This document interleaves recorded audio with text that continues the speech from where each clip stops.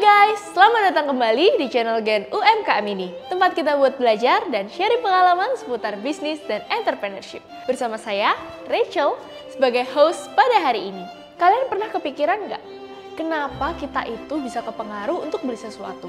Salah satu penyebabnya adalah psikologi. Kita itu cenderung mengambil keputusan berdasarkan pola pikir dan psikologis kita. Nah, Rachel punya beberapa trik yang bisa kalian terapkan ke calon pembeli dengan memanfaatkan psikologis mereka. Yang pertama, sesuai dengan hukum supply dan demand, pada umumnya kita cenderung untuk melakukan pembelian impulsif ketika kita tahu barang itu semakin sedikit jumlahnya. Eh, Mak, mak, mak, mau beli tas kulit buaya ini nggak? Dari Afrika. Lebih gendut-gendut dari buaya Asia. Cuma ada lima loh di dunia. Serius? Nah, hal ini bisa kalian manfaatkan untuk membuat promo barang atau diskon yang terbatas. Harapannya sih supaya calon konsumen langsung beli.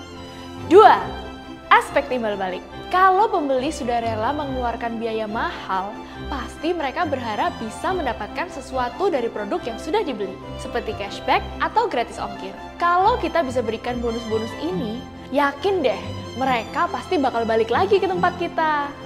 Tiga, spokesperson atau siapa yang berbicara. Pembeli akan lebih percaya jika barang itu dipromosikan oleh orang yang mereka tahu dan kagumi. Nah, memanfaatkan hal ini, kita bisa menggunakan jasa influencer, artis, atau public figure untuk mempromosikan produk kita.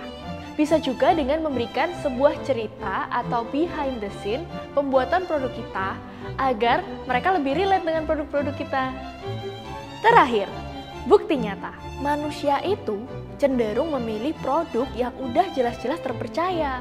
Apalagi kalau udah dipakai banyak orang di sekitar mereka. Mereka akan lebih yakin dengan produk tersebut. Contohnya nih, tas buaya Afrika yang tadi. Kalau ternyata udah dipakai oleh teman-teman mereka dan reviewnya bagus, kita jadi semakin yakin buat beli tas tersebut. Itu dia beberapa trik psikologis yang bisa kita terapkan. Gimana? Ada yang sudah diterapkan dalam promosi produk kalian? Tulis di kolom komentar di bawah ya.